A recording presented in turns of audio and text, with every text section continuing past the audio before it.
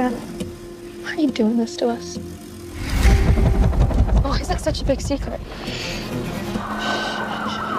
Because we have a problem. What kind of problem?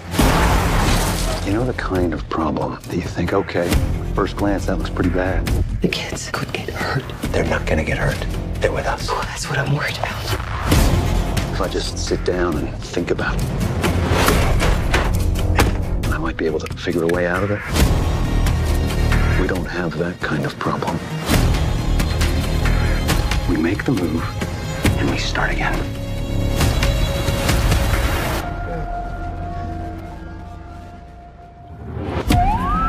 We need to go.